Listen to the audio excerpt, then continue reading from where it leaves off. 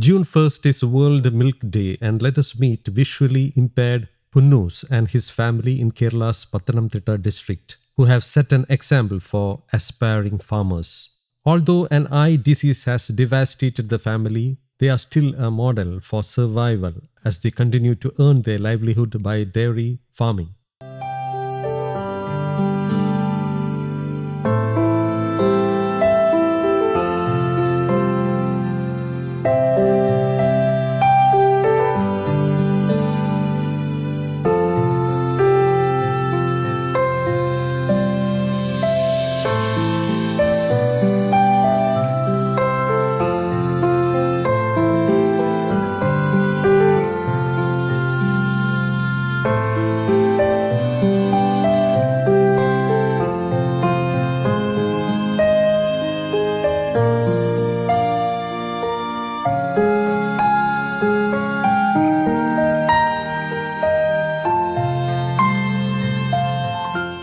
They have nine cows. Pathanamthitta Rani native Alapat House resident Punnus, his children Jomon and Jomol, and granddaughter Ansal are visually impaired. Only his wife Annamma and Jomol's youngest child have eyesight.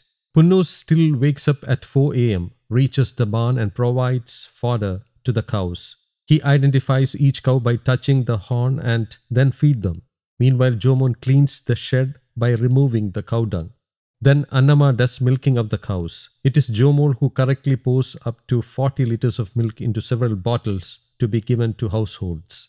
Jomon takes these milk bottles and distribute them among houses. Although most of them are visually impaired, they still do all the works. Now the entire family is dependent on Annama, but she is afraid who will take care of them after her death. The family has a hereditary disease that affects the nerves which supplies blood to the eyes. Treatment did not work. Despite the loss of eyesight, the family continued to do cattle farming and thus did not give up on life. Ranni Angadi മൃഗാശുപത്രിയിലെ life stock inspector Sreejith ഇത് അംഗപരിമിതരായിട്ടുള്ള ഒരു കുടുംബമാണ് ഇത് അന്നമ്മ പുലൂസ് ആലപ്പാട്ടെന്ന് പറയും. ഈ വീട്ടിലെ അമ്മ ഉൾപ്പെടെ ബാക്കി നാല് പേർക്കും അന്ധത ബാധിച്ചവരാണ്.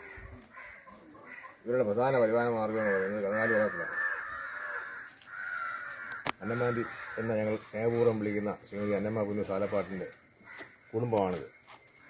ഇവിടുത്തെ അച്ഛനും മകനും മകൾക്കും കൊച്ചുമകൾക്കും ജന്മന കാഴ്ചക്കുറവുള്ളവരാണ്. അതുപോലെ തന്നെ ഈ അച്ഛനും അമ്മയും മക്കളും ചേർന്നാണ് ഈ ഒൻപത് പശുക്കളെയും അവയുടെ കിടാക്കളെയും പരിപാലിക്കുന്നത്.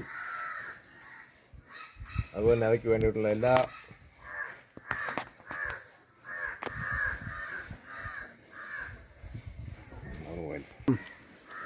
സാധാരണ ഈ വൈകല്യമുള്ളവരൊക്കെ അവർ ഇങ്ങനെ അന്ധരാണെന്നുള്ള രീതിയിൽ ഒതുങ്ങിക്കൂടുമ്പോൾ ഇവർ ആ കഴിവുകളെല്ലാം ആ അന്ധതയെ അതിജീവിച്ച് ഞാടിനും നമ്മുടെ ജനത്തിന് എല്ലാവർക്കും മാതൃകയായിട്ട് ഈ ഒൻപത് പശുക്കളെയും അവരുടെ കിടാക്കളെയും വളർത്തി വളരെ മാതൃകാപരമായ ജീവിതമാണ് നയിക്കുന്നത്. അതുപോലെ തന്നെയാണ് ഈ കണ്ണു കാണാത്ത അന്നമാന്റിയുടെ മകൻ ഏകദേശം പതിനേഴായിരം രൂപയുടെ ചാണകം കഴിഞ്ഞ ഒരു മാസം വിൽപ്പന നടത്തി. പൊതുവെ മൊത്തത്തിൽ പറയുമ്പോൾ മറ്റുള്ള ഈ വിനിയോഗത്താൽ ഇങ്ങനെ അന്ധത ബാധിച്ച മറ്റുള്ള ഏതൊരാളെക്കാളും വളരെ മാതൃകാപരമായ രീതിയിൽ ഇവർ നല്ല ജീവിതമാണ് കാഴ്ചവെക്കുന്നത്. അതുപോലെ തന്നെ നമ്മുടെ മൃഗാശുപത്രിയിൽ നിന്ന് മൃഗാശുപത്രിയിൽ നിന്നും മൃഗസംരക്ഷണ വകുപ്പിൽ നിന്നും നടപ്പാക്കുന്ന എല്ലാ പദ്ധതികളിലും എല്ലാവിധ ആനുകൂല്യങ്ങൾക്കും മുൻഗണന നൽകി നമ്മളിവിടെയൊക്കെ കൊടുത്തു പോകുന്നതാണ്.